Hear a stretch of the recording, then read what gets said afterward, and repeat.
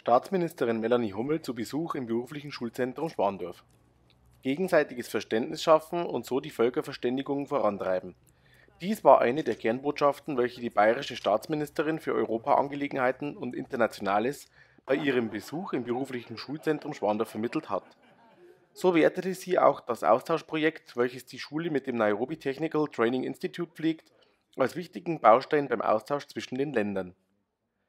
Im Gespräch mit Schülerinnen und Schülern kamen noch weitere interessante Themen und Einblicke zur Sprache.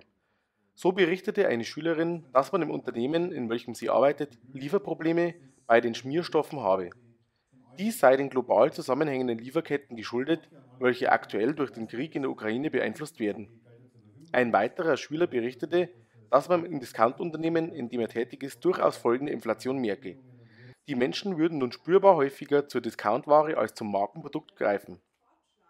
Landrat Thomas Ebeling beleuchtete in seinem Grußwort den aktuellen Stand der Bauarbeiten am beruflichen Schulzentrum. Er bedankte sich bei allen Beteiligten, die dafür Sorge tragen, dass der Bau vorangeht.